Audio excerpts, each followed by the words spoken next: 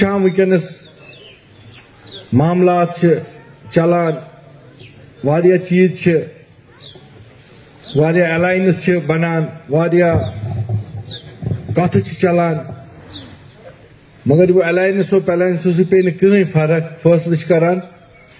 Grounds پہ لوگ۔ Alliance چھ اس تہ اگر اس کرو الائنس کا اس تمن لوکن سی کت چلان یم نی یمن لوکن وام گمان سی مز آسن یمو نے یہ سوچمت آس تم لیڈر تہ اس سۭتۍ الائنس کٔرِتھ یہندس دامنس پٮ۪ٹھ نہ آز تام معمولی داغ تہ خدا کی قسم، روزے منہ میں میں سچ بول رہا ہوں۔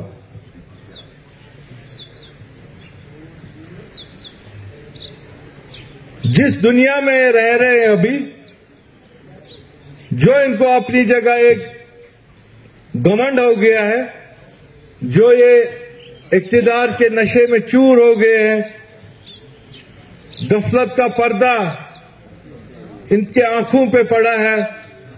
جس طریقے سے آج عمر عبداللہ کی باڈی لینگویج اور جس طریقے سے وہ بولتا ہے، ایروگنس، اہنکار صاف صاف جھلکتا ہے۔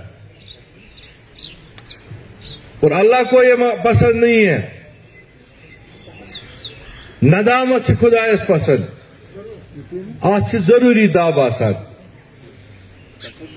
جیسے انہوں نے کشمیر جیت لیا ہے، ایسے یہ باتیں کرتے ہیں۔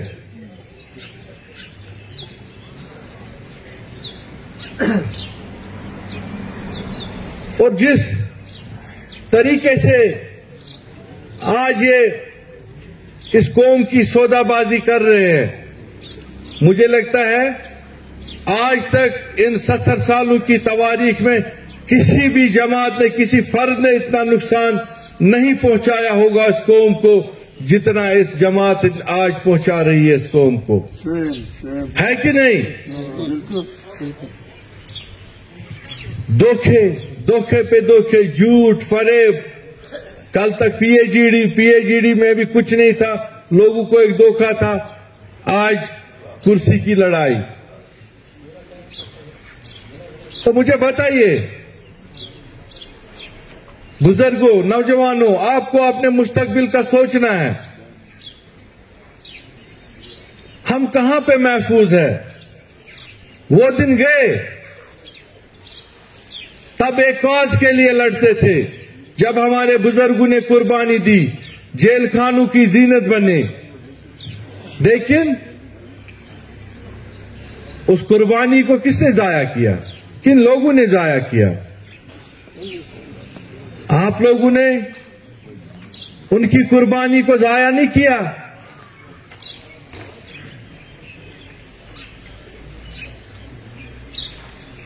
جس درگاہ شریف کو آپ لوگوں نے اکھاڑا بنایا ہے، یہ گاندربل پہ وسان دنیا آگ جمعہ دو درگاہ نماز۔ چھنا؟ گۄڈنیٚتھ فرض پنن مسجد آباد کریں۔ درگاہ نبی صبح دیدار ہے کچھ کن تہ دو کرت وہ دل میں ہونا چاہیے۔ اور وہاں پہ بیٹھ کے صرف یہ سازشیں کرتے ہیں پھر۔ تب باغس مز بہت ہفتک پتہ تھی منان۔ یت ہفتس کمس کیا کرو؟ چھنا یم گژھان تور اور۔ سوئی نبی کڑی من ژنڈ تھی وزو اور فاروق عبداللہ کو یہ دیکھ لینا چاہیے۔ اس کے والد نے اسی درگاہ شریف سے کہا جب اس کا لوٹ کیا تھا، انہوں نے کروایا تھا، جب وہاں سے اسے اعلان کیا تھا کہ کانگریسی گندی نالے کے کیڑے ہیں۔ کل مجھے ایک بزرگ کہہ رہا تھا، ہم نے ایک تابوت کو توڑا، ایک میت کو باہر نکالا۔ وہ کانگریسی تھا، وہ شیخ محمد عبداللہ نے تب کہا تھا۔ کئی لوگوں کے نکاح ٹوٹے، ہماری بہنوں کے نکاح ٹوٹے ترکی موالات ہوا۔ اور پھر پچہتر میں آپ نے انہی لوگوں کے ساتھ ایکارڈ کیا۔ پھر ستاسی میں آپ کے بیٹے نے راجو فاروق ایکارڈ کیا۔ جب آپ نے محمد یوسف کو صلاح الدین بننے پہ مجبور کیا، آپ نے یاسین ملک کو جیل خانوں کی زینت بنایا۔ آپ نے حمید شیخ جیسے آدمی کو بندوق اٹھانے پہ مجبور کیا۔ آپ نے کشمیری نوجوان کو ورگلایا اور آپ کے ستاسی کی کانگریس اور نیشنل کانفرنس راجیو اور فاروق عبداللہ کی وجہ سے آج لاکھوں لوگ ہمارے قبروں میں ہیں۔ میں نے خود اپنے والد کو کھویا ہے۔ میرے جیسے ہزاروں لوگ ہوں گے۔ کیا آپ کو میں کہتا ہوں نیند بھی کیسے رات کو آتی ہے؟ کیا آپ کو یاد نہیں آتا ہے نے اس قوم کو اس آگ میں جلک دیا۔ انیس سو انانوے میں خود بھاگ گئے اور لندن میں بیٹھ گئے۔ وہاں عیش عشرت کی زندگی گزاری۔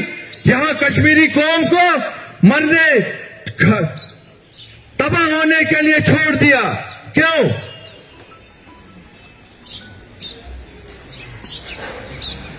تو اس کے بعد وزیر اعظم نے کہا تھا سکا از دا لمٹ آزادی سے کم کچھ بھی مانگو، ہم دینے کو تیار ہے پھر کیوں آپ نے اٹانومی سرنڈر کی؟ نائنٹی ایٹ میں؟ وہ آپ نے عمر عبداللہ کی منسٹری پہ اٹانومی سرنڈر کی۔ ورنہ اٹھانوے میں کشمیر کو ترپن کی پوزیشن ملی ہوتی۔ اور تب بھی آپ نے اس قوم کو دھوکہ دیا۔ اور آج آپ نے پی ایچ ڈی کا دکھا کے آج آپ نے پھر ایک یو ٹرن لیا صرف کرسی کے لیے۔ مجھے پتا آپ لوگوں کو ملا کیا؟ یہاں کے نوجوان تڑپ رہا ہے روزگار کے لیے۔ ماں باپ پریشان ہے ہر جگہ تباہی تباہی۔ گربت اتنی لوگوں میں ہے۔ بینک کے قرضوں کے نیچے لوگ دبے ہیں۔ جس پاور کی آپ بات کرتے ہیں، انشاءاللہ صاحب، وہ پاور بھی بیچنے والے یہی باپ بیٹے ہیں۔ ہمارا اوڈی کا پروجیکٹ، ہمارا سلان کا پروجیکٹ، ہمارا یہ بگل یاد آپ نے این ایچ پی سی کو کیوں دیا؟ کیوں آپ نے یہاں ہمیں خود کفیل نہیں بنایا؟ ان ستر سالوں میں اگر آپ نے راج کیا۔ آج گیسے چاسن ہندوستان کن باقی سٹیٹن بجلی دیوان، کشمیر جموں کشمیر کی عوامت گز فری بجلی آسن۔ اتنا ہمارے پاس پانی ہے۔ کیا کیا آپ نے؟ تباہی۔ آپ کے گاندربل کی سڑک آج تک ستر سال میں نہیں بنا سکے۔ اگر یہاں ملا روزگار انہی کھٹ کو بچوں کو ملا۔ مجھے بتاؤ ان کے ورکر کو کسی کو ملا جو بوتھ پہ جو اس پہ بیٹھتا ہے پولنگ بوتھ پہ، اس کو ملا؟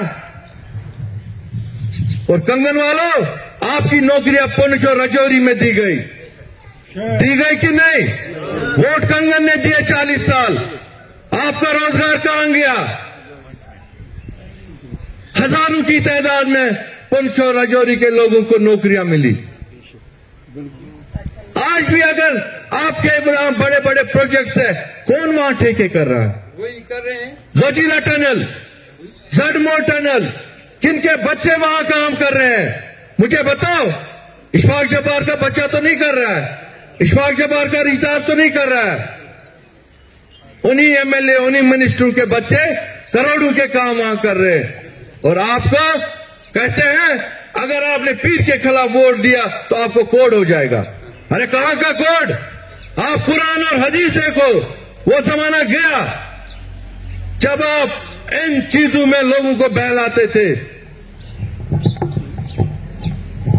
یار آپ سوچو، اگر میں آپ کے پاس آیا ہوں کھلے دل سے، تو یہ آپ کا فرض بنتا ہے کہ آپ کو اس چیز، اس تنظیم کو، اس تحریک کو مضبوط کرنا ہے۔ کیا ورنہ مجھے کیا ہے؟ میں میانہ خطر بننا اللہ تعالیٰ میں بننا روزگار کنہ میون بچ کھیننا طرح طرح کی باتیں سننی پڑتی ہے۔